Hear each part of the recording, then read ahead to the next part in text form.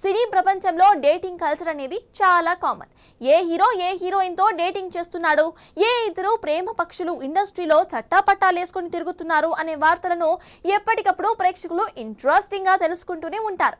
ఈ డేటింగ్ గురించి ప్రేక్షకులు చర్చించుకునేది అంతా ఒక ఎత్తు అయితే ఆ ప్రేమ పక్షులు వెళ్ళి పెళ్ళి చేసుకుంటున్నారు అన్న చర్చ మరో ఎత్తు. ఒక హీరోయిన్కు ముప్పై ఏళ్ళు దాటితే చాలు. తన పెళ్ళి గురించి అందరికీ ఎక్కడా లేని ఆసక్తి వచ్చేస్తుంది. ప్రస్తుతం అలాంటి హీరోయిన్లు సౌత్ ఇండస్ట్రీలో ఎంతో మంది ఉన్నారు. ఆ హీరోయిన్లు కాస్త సినిమాలకు గ్యాప్ ఇచ్చినా లేదా సోషల్ మీడియాలో యాక్టివ్గా లేకపోయినా కూడా వారి పెళ్ళి కుదిరింది అనే పుకార్లు బీభత్సంగా వైరల్ అయిపోతాయి. లేడీ సూపర్ స్టార్ అని తన ఫ్యాన్స్ ప్రేమగా పిలుచుకుంటున్న ఆ హీరోయిన్ కూడా పెళ్ళి పీటలు ఎక్కడుందన్న వార్తలు ఈ మధ్య మరీ వైరల్గా మారాయి. నయనతార ప్రొఫెషనల్గా తన యాక్టింగ్ పరంగా తనకు ఎంత మంచి పేరుందో పర్సనల్గా కూడా తన లైఫ్ గురించి ఎప్పుడూ చర్చ వార్తల్లోనే ఉంటుంది.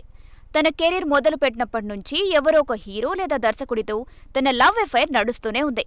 ముందుగా తన సహనటుడు శంభుతో ప్రేమలో పడిన నయనతార చాలా కాలం వరకు తనతో చెట్టాపట్టాలేసుకుని కోలీవుడ్ అంతా తెలిసేలా తన ప్రయాణాన్ని సాగించింది.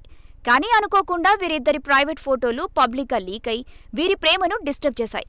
అందుకే ఆ తర్వాత యాక్టర్ కమ్ డైరెక్టర్ అయిన ప్రభుదేవను ప్రేమించి పెళ్ళి చేసుకుందామని కూడా ఫిక్స్ అయింది.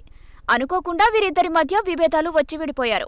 ఆ తర్వాత కొంతకాలం ప్రేమ అనే వాటికి దూరంగా ఉండి తన కెరీర్ పైన దృష్టి పెట్టిన నయన్ కెరీర్ ఒక్కసారిగా టర్న్ అయిపోయింది. అందుకే ఇప్పుడు లేడీ సూపర్ స్టార్గా సౌత్లో తన హవా కొనసాగిస్తుంది. ఇదిలా ఉండగా త్వరలోనే నయన్ పెళ్ళిపీటలెక్కుతుందని ఇప్పటికే నిశ్చితార్థానికి ముహూర్తం కూడా ఖరారైందని వార్తలు వినిపిస్తున్నాయి. దర్శకుడు విఘ్నేష్ శివన్తో నయన్ ప్రస్తుతం గాఢమైన ప్రేమలో ఉందని అందరికీ తెలిసిన విషయమే. వీరిద్దరూ ఈ విషయాన్ని బహిరంగంగా చెప్పకపోయినా కూడా వీరి సోషల్ మీడియా పోస్టు చూసి ఇప్పటికే ఆ విషయాన్ని అందరూ కన్ఫర్మ్ చేసుకున్నారు. అందుకే త్వరలో వీరిద్దరూ నిశ్చితార్థానికి ముహూర్తం ఖరారు చేసుకున్నారన్న వార్త కాలీవుడ్లో వైరల్గా మారింది. మరి ఇప్పటికైనా ఈ వార్తల్లో నిజముంటుందా లేదా అనేది వేచి చూడాలి.